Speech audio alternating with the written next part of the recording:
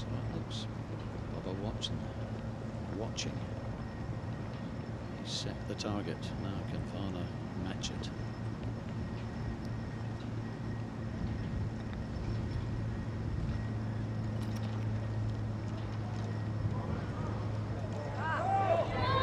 This.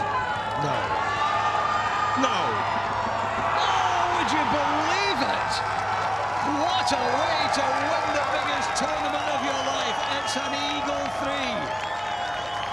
Harold Varner is 13 under par and wins by one, and Tommy Fleetwood is almost as pleased as Harold is. What a finish.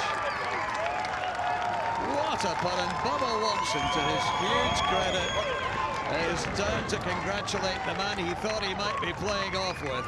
What